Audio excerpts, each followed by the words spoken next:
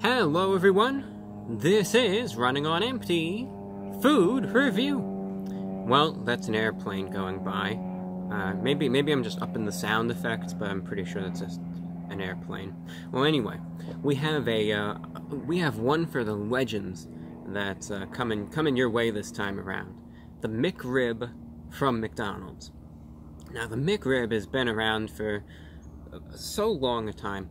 I remember the first time I actually tried the McRib. It was back in, I believe, the, uh, I think it was October of 1968 when I was working nights at the movie theater. And I'd always go to McDonald's and get just a quarter pounder with cheese. I remember they had the McRib, and I'll never forget that night. It was just, it was just incredible. Uh, actually, I've never had the McRib before. I was just saying that to mess around. The McRib, though, what is it? You know, everyone talks about it. It's ever so elusive. Uh, believe it or not, it was actually very difficult for me to try to find a McRib to ever review because people have been talking about it for years and years and years, and it's so hyped up. And then I always try and go out and find it. No one ever has it. None of the McDonald's in New York, New Jersey ever had it. None of the McDonald's in Virginia, North Carolina ever had it. But finally, here in Florida, we found one that did. The McRib what precisely is it and why is it so hyped up? Well, the McRib is a, uh, it's not even a seasonal release. It just kind of comes out whenever they feel like releasing it. And uh, it has the following ingredients. So it is composed of a rib-esque, you know, it's boneless, so it's like you're going to bite into it and you're going to have these bones and it's going to shatter all your teeth and uh, now you're going to require thousands in dental uh, work that you can't afford. You know, none of that. It's, it's boneless, so don't worry about that. But it's going to have a pork patty that kind of looks like a rib, though. Uh, it's going to have tangy barbecue sauce that it's kind of, you know, slathered in. Onions and tart pickles, all kind of tied together on a hoagie-style bun. So it's like a pork sandwich with some barbecue sauce and some, you know, maybe that little bit of a tang with the uh, the pickles and the onions, and uh, just all tied together. Really a fan favorite, so to speak. Now the price for this was uh, three dollars, and uh, hey, we'll just have to see how good this is. So here's the McRib bag with the McRib excrement on the bag. Uh, though people say that that's a good luck sign, so we're we're not going to bash that or anything, you know. Maybe that's good luck. Maybe that means it'll be good. I'm pretty sure this has got to be it. Let's see. For those of you who are like care way too much about this, uh, you might complain a little. Let me just uh, get the autofocus. So, there we go. For those of you that care way too much about that McDonald's item, some people might complain. They might say, "But Reviewbrah." it's in the McNuggets box and not the McRib package. Well, how's that going to change anything? But anyway, let's do the unboxing. So that's the hoagie style McRib bun. And uh, you'll see, maybe I'll get rid of the autofocus for now just so that we can get a better look at it. There you go. In the afternoon sunlight, there's that hoagie style bun. And let's just go ahead and take it out. We'll do a full examination. But there it is. There's the McRib patty. And yeah, you get a full view of it. You know, you can see the pork patty. You can see the bun. You can see the uh, onions. And those tangy pickles. And all the sauce there as well. And uh, for good measure, let's uh, debun it. That's what the top bun looks like. Not a ton of action going on there. Bottom bun, this is where it's at. Alright, see right there. Let's see if it does. There we go. A good focus of it. You can see it's got all those onions and pickles and the sauce. And I mean, it looks like a pretty complete sandwich. It's not necessarily as big as they would say uh, that it looks like on the website, but that's kind of everything you know, where it's like a little more smushed, perhaps. But as they say, you can't judge a book by its cover. I've never had the McRib before, so we'll see how it is. Uh, some people, you know, they love it, they say it tastes great. Some people are disgusted by it. Uh, I'm going to go in optimistically. I say, you know, maybe this will just be a good pork snack as uh, some people say, and uh, maybe it won't. I don't know. I'm going to try it out for you now. The McRib from McDonald's. First time ever trying it, going in.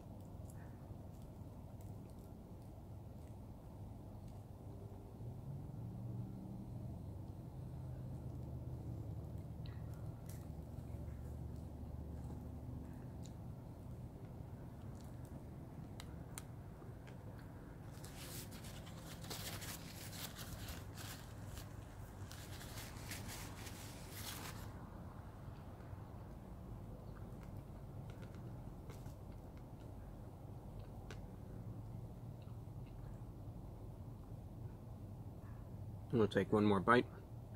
Good amount of sauce in that one too. Sauce action going.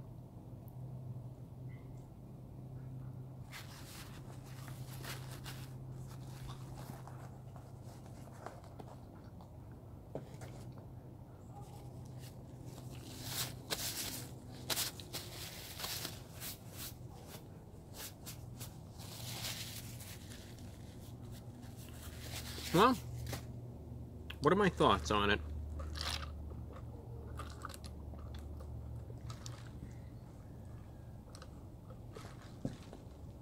You know, it's fascinating. And first, I'm just going to get this out of the way before I forget. Look, if you're interested, uh, check out my radio show. It's at soundcloud.com slash VORW underscore radio underscore INT. Two hours, uh, one hour of music, one hour of talk. If you're listening on shortwave, I really need to hear from you. I'm thinking about cutting a lot of the broadcasts back. So uh, if you tune in on your radio, really just let me know how you listen and what frequency you tune in on. Uh, V-O-R-W-I-N-F-O at gmail.com. Public service announcement, just, you know, had to get it out there. You know, what I, what I don't understand when it comes down to the McRib is how much divisiveness there is between the people that, like they say, it's the best thing that they've ever had, and then you have people that say, uh, oh, they say, have you ever read the book uh, The Jungle by Upton Sinclair from, uh, you know, 1904? And then they just say, you know, it's repulsive and disgusting and so on and so forth. My view of it kind of falls in the middle, I suppose. I'll be quite honest. It's not the best thing that I've ever had in the world, but it is far from the worst.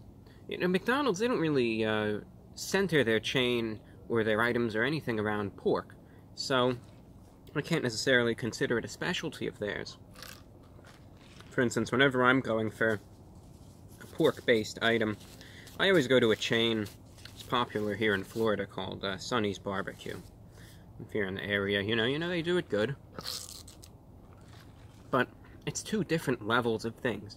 When you're getting something from McDonald's, you have to just anticipate McDonald's quality, not any sort of professional smokehouse, steakhouse-esque item. So for what it's worth, they hit the nail on the head when it comes down to describing what it tastes like. It, it does have that tanginess to it. It's more tangy than it is sweet, I'll tell you that. I know you bite in, the pork is really tender. I gotta give them credit for that. The pork is really tender, could be a little more flavorful though, that's why there's so much emphasis on the sauce and the toppings. But the pork is really tender, you know, it, it tastes pretty good. Uh, it is covered in the sauce. Could be a little messy to eat, but that sauce just has that, just as I said, that tangy barbecue, just as they described it. Uh, the onions and the pickles that contribute to that tanginess. So as a result, it's not like it really has a smokiness to it, or a sweetness, rather it has just this tenderness and tanginess to it as well. And sometimes I think, as I was eating this, maybe there's just a little bit too much of that tang. I would maybe tone it down a tiny bit if it were up to me. But overall, I think that it's a pretty good sandwich uh, for the most part. Again, you just have to remember, it's fast food quality. You're going to have people out there that love it. You're going to have people out there that hate it. And then I guess I guess my stance on it is I'm kind of in the middle. Uh, would I get it again? Well, maybe. If I'm really feeling it, then I might. But it's not like I'm gonna say, all right, McRib, breakfast, lunch, dinner. I'm gonna stop drinking water. I'm gonna go out and I'm just gonna squeeze any excess tangy barbecue sauce and just guzzle that down to get the necessary nutrients in place of what, you know.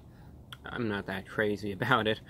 Uh, but in the end, when it comes down to it, out of 10, price for this was $3. I think it is what they described it to be. I would just kind of tone down the tanginess slightly, but I think it's perfectly acceptable for what it is.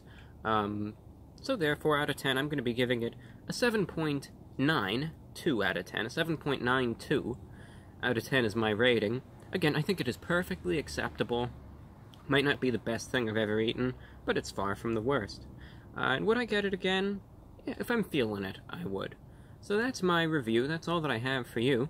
I'm your host, the Report of the Week, and also if you do want to help support this channel, keep everything going, uh, check out my merchandise store, teespring.com slash stores slash the Report of the Week.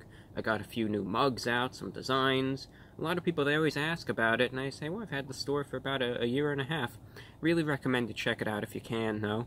And, uh, you know, hey, you see something you like, go for it, and it's a way to really help this channel and the radio show out too. So thank you for uh, tuning in, thank you for watching. Hope you could check out the radio show on SoundCloud, and with that, that's all that I have for you. Hope you enjoyed the review, and uh, with that, I think I'm going to finish up the McRib. Thank you for watching, take care, and I'll see you again in a couple days.